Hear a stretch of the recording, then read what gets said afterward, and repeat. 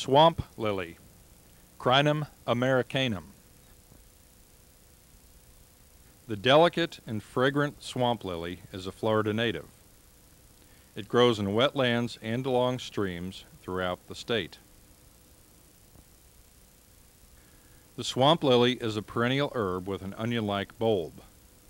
The leaves are erect to spreading. Leaves are strap-like, up to three feet long. The strap-like leaves are up to three inches wide. Swamp lily flowers arise from the bulb on a long flower stalk that is separate from the leaves. Two to six flowers occur at the tip of the flower stalk. The long flower tubes are four to six inches long. Swamp lily flowers are white or white and pink and are fragrant. They have six petals.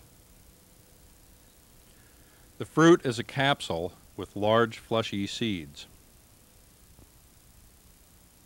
Swamp lilies may be confused with spider lilies of the genus Hymenocallis. Remember that swamp lily flowers have six separate petals.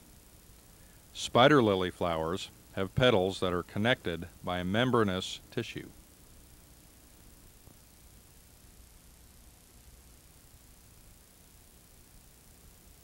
The swamp lily has long, wide, strap-like leaves.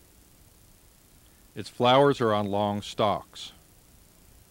Swamp lily flowers are white and fragrant with six separated petals.